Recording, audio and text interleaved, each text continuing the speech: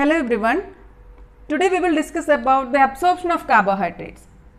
So when the food materials reach the small intestine, all complex dietary carbohydrates like starch, glycogen and disaccharides.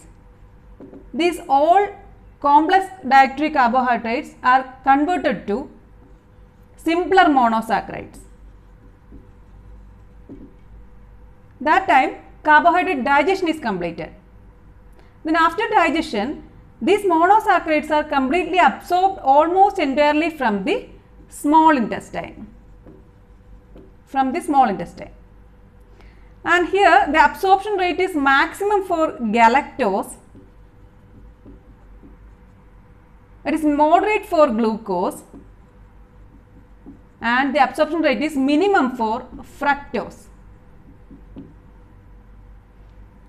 And there are two mechanisms are responsible for the absorption of these monosaccharides. Two mechanisms simple diffusion and active transport.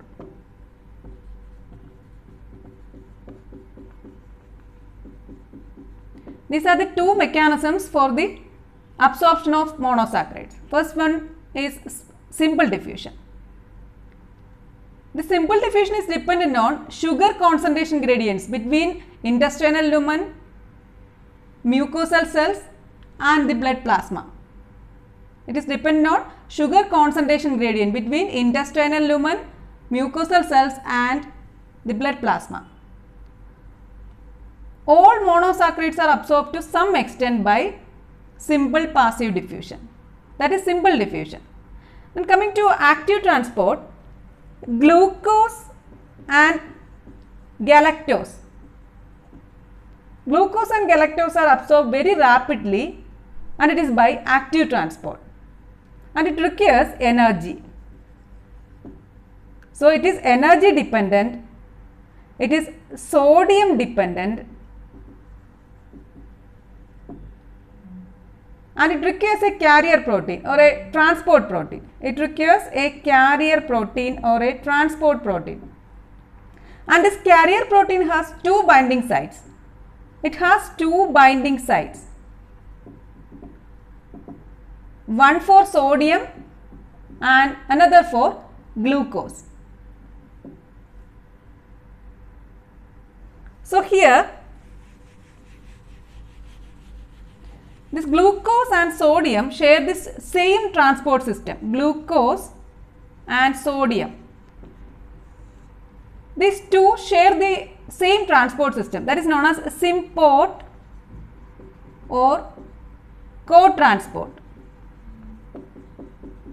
And this transport system is known as sodium dependent glucose transporter or SGLT, sodium dependent glucose transporter. So here concentration of sodium is higher in the intestinal lumen than in the mucosal cells. Here concentration of sodium is higher in the intestinal lumen. So sodium moves into the cells along its concentration gradient. This time glucose is also transported into the intestinal cells from the lumen.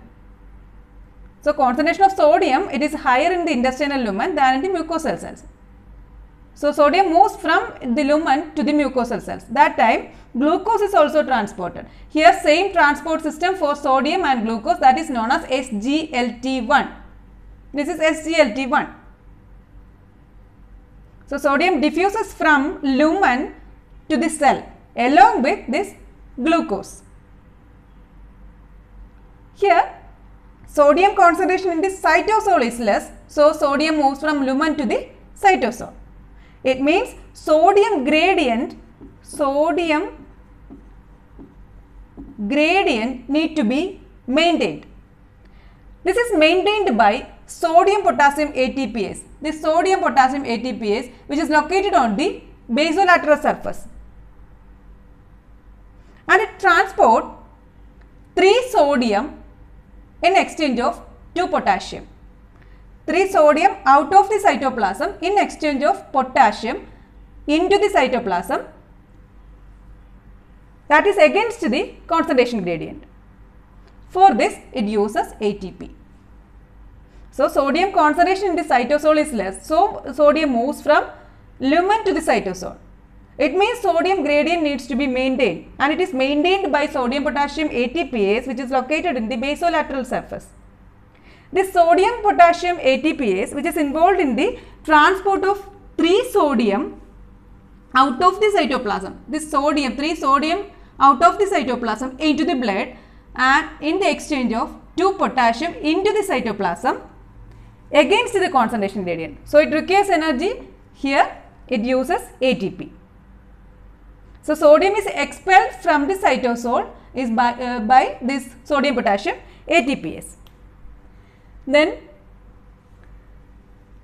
so at the intestinal lumen absorption is by SGLT1. There is another transported in the intestinal epithelial cells that is known as GLUT2. So, in the intestinal lumen the sodium transport it is by SGLT1.